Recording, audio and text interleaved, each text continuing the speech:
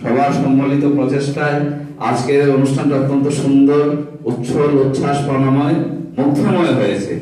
আমি chairman Raniganj union পরিষদের chairman মহোদয় সহ ইউনিয়ন পরিষদকে আন্তরিক ধন্যবাদ জানাচ্ছি, কৃতজ্ঞতা প্রকাশ করছি যে এত কষ্ট করে, এত পরিশ্রম করে এরকম একটা সভার আয়োজন করেছেন শিক্ষণ কর্মসূচির আয়োজন করেছেন আমাদেরকে বিভিন্ন জায়গায় ঘুরিয়ে দেখিয়েছেন এবং ওনার মূল্যবান সময় নষ্ট করেছেন।